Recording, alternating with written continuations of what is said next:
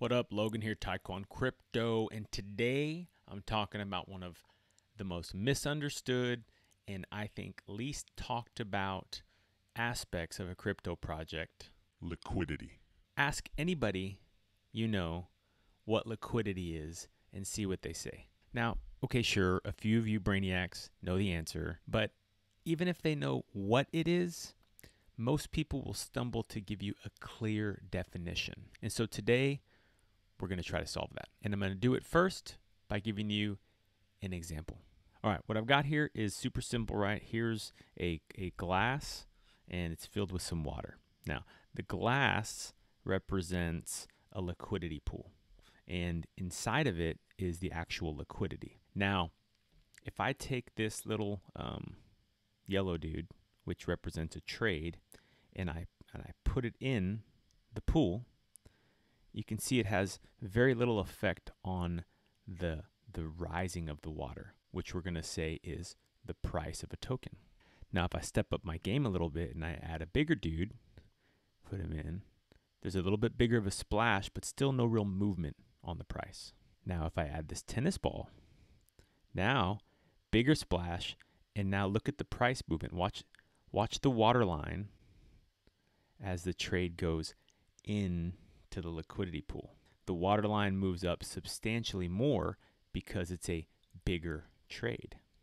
Now, what if I want to come along and make a really big trade? It doesn't fit. Now, the analogy isn't perfect because a liquidity pool typically has two tokens in it the one you want to use to buy and the token that you want to purchase. And so instead of water, there would be imagine just a bunch of these tokens in there. Let's say um, I wanted to buy that red. Well, I would put my yellow USDC or DAI into the pool, and then I would get out of it my wet red from Angry Birds. And in that example, the pool is about the right size for these particular tokens, where when I add them, it doesn't do much to disrupt the economy or the water or the contents of the pool. So now pretend this tennis ball is a bigger one of those yellow tokens or the USDC or DAI. This bigger trade, I want to put more of this in because I want more of those red tokens out. Now, when I add it, it disrupts the pool, which means it has a greater impact on the price. Keep in mind, this is a trade on a decentralized exchange like Uniswap, where where the exchange is only possible because of liquidity providers who put their tokens inside the liquidity pool so that you can trade it. The point is, liquidity in the context of a decentralized exchange is this it's how easy you can convert tokens to and from each other without disrupting the price. Or really, that's a symptom of a healthy token where there is enough liquidity that you can make trades in and out without dramatically impacting the price. In fact, one of my favorite definitions is from Kraken.com, in which they talk about liquidity right here. Liquidity refers to how easily an asset can be bought or sold at a stable price on a given market. The quicker you can sell off an asset as close to your asking price as possible, the more liquid an exchange is considered to be. So when you think about a decentralized exchange, the ability to make that trade at all, first and foremost, depends on if there is a liquidity pool available for you to trade in. After that, it depends on how big the pool is. The price is going to be set based on how much you want to buy and how much available liquidity there is. And we can see this pretty easily by going into Uniswap and looking at the token pairs. And if we take one that has a high liquidity pool, like for example, USDC to ETH, which has a $530 million liquidity pool, and then if I wanted to do a trade on that, let's say I wanted to convert 100 Ethereum to USDC. For the record, this isn't an actual trade. I don't have 100 Ethereum or really anything close to that. So you can see here that the price per USDC is $361. What if I wanted to do a thousand of them? you can see the price is still about $361 each.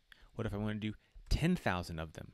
Well, now it has a bit of an impact, right? The price has gone down. The amount per USDC I'm paying per ETH is less, making ETH less valuable to sell. How about 100,000?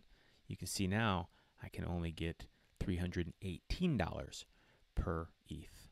So in this example, with a really big pool, I'm able to make fairly sizable trades, 100 and 1,000, without dramatically impacting the price. Now, if we flip that and look for a relatively small liquidity pool, in this case, let's look at the ETH and DMG pool.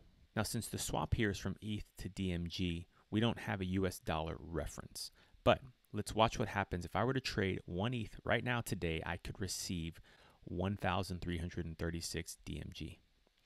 What if I were to try and trade 10 ETH? Well, now I'm down to 1327. What about 100? 1245.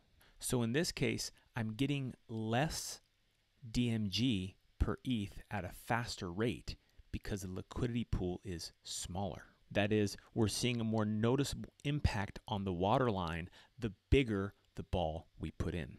Anyway, I don't know if that analogy helps. Where it impacts you is if you want to be involved in a token and you want to make bigger trades and you want to maximize the value of that trade, then you need to trade a token that has relatively high liquidity to the size of trades you're going to make.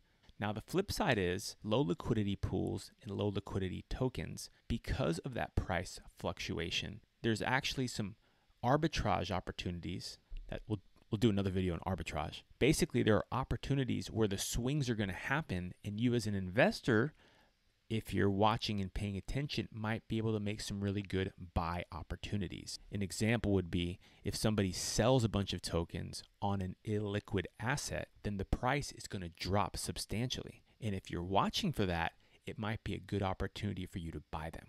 Conversely, if someone comes in and purchases a bunch of tokens on a low liquidity pool, then it might be a good opportunity for you to sell them. But the point is, next time someone asks you what is liquidity, tell them it's how easily an asset can be bought or sold at a stable price in a given market. If you memorize that, you will sound like the smartest guy in the room, even if, like me, you're not. Anyway, that's it. Quick video on liquidity. Hope you enjoyed it. If you did, please like, subscribe, share the video.